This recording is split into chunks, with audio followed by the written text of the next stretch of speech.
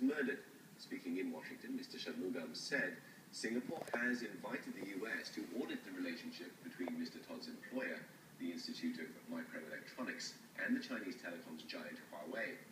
Our US Bureau Chief Simon Marks reports. The Singaporean foreign minister arrived on Capitol Hill within hours of touching down in the USA. His first stop a meeting with Senator Max Baucus of Montana. His constituents are the parents of Dr. Shane Todd, the dead engineer. And Minister Shanmugam told reporters the authorities in Singapore will get to the bottom of the young American's death. But death takes place in Singapore. We must get to the bottom of it. And we are the kind of country where this is done in public with a public inquiry.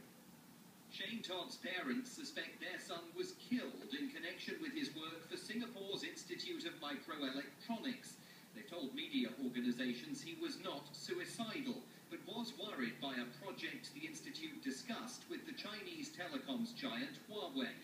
For that reason, the minister invited US officials to take a detailed look at the relationship between the two organizations.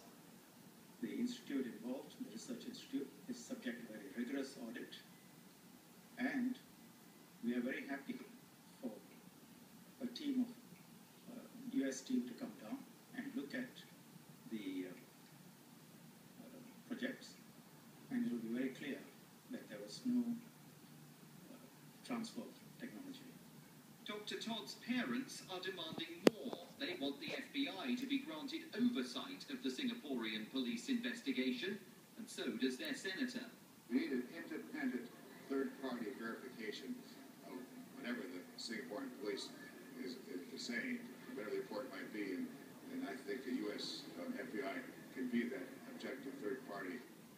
Singaporean authorities say the police will share evidence in the Shane Todd case with the FBI. But in a telephone interview, Shane Todd's father told Channel News Asia that isn't enough to persuade him to share a hard drive he found in his son's apartment with the Singaporean authorities. We need to hear that they are willing to share all of Shane's items, which is his both his computers, his um, journal, and, and his uh, cell phone. There's a lot of things that we have questions about. We have to have an agency that has oversight on the part of the Singapore police. Minister Shanmugam said the family will be to participate in the public inquiry into Shane Todd's death. By confronting the Shane Todd case so early in his visit here, the minister was hoping to clear the decks, but Singaporean officials concede the issue will come up again on Wednesday, when the minister holds talks with Secretary of State John Kerry. Simon Marks, Channel News Asia, Washington.